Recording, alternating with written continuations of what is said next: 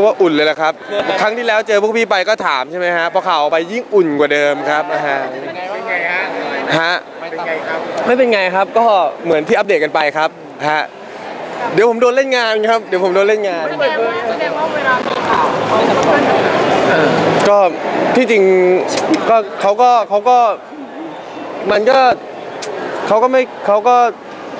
เขาไม่เขาไม่ชินมากกว่าครับ ไม่ชินไม่ชินเราเราตามเกรงใจ ไหมคะเพราะว่าผมเกรงใจครับระหว่างเราไม่ก็เกรงใจ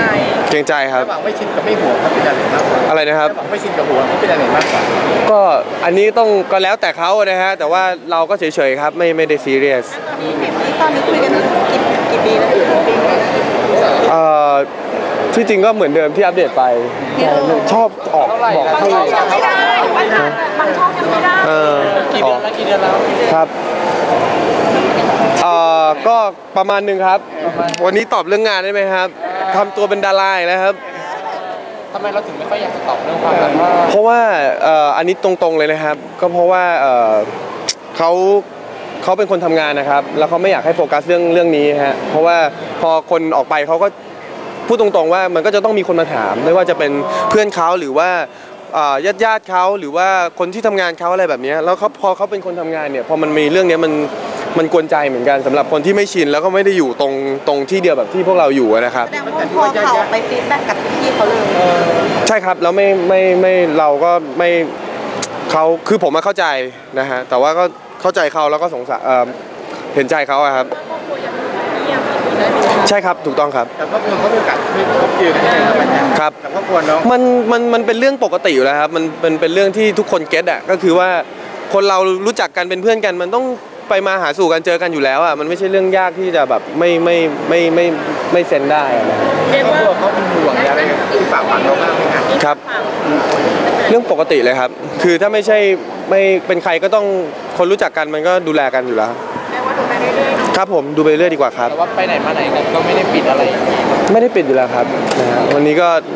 ละครนะฮะสองหัวใจนี้เพื่อเธอนะครับ on air 8ตุลานะครับ แล้วก็ฝ่ายอีกเรื่องหนึ่งนะครับสะใภ้จ้าวครับ 10 ตุลานะครับ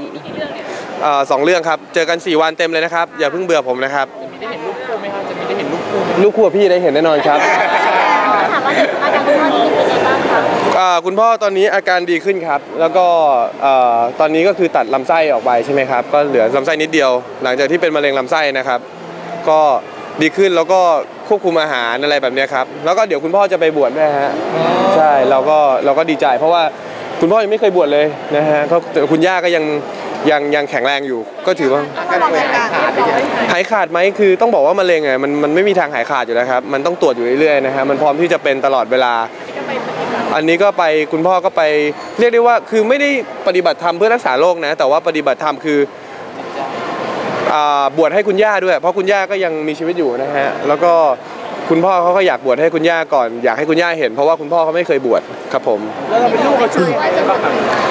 เอ่อน่าจะประมาณเอ่อน่าจะ 3 เดือนครับ ก็พรรษาหนึ่งอะนะครับ แล้วก็เอ่อสำหรับเป็นลูกก็ผมก็คงไปบิณฑบาตอะไรที่คุณพ่อชอบกินนะฮะเพราะว่า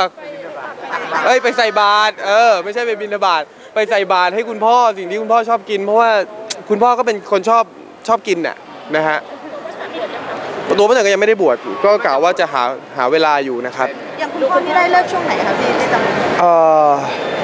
ยังยังยังไม่ได้เลิกเพราะว่าตอนนี้ติดต่อทางวัดอยู่นะฮะแต่ว่าก็น่าจะเป็นวัดที่เอ่อใกล้ๆบ้านแล้วก็คือเราต้องก็ต้องเอ่อเที่ยวเที่ยวไปดูเขาบ่อยๆอะครับเพราะว่าเรื่องสุขภาพด้วย แต่ว่าเห็นว่าจะไป อยู่ที่กรุงเทพสักพักหนึ่งแล้วก็จะไปจำวัดอยู่ที่เชียงใหม่อยู่อีกประมาณเดือนหนึ่งครับเรากังวลไหมฮะในอาการป่วยของพ่อเนี่ย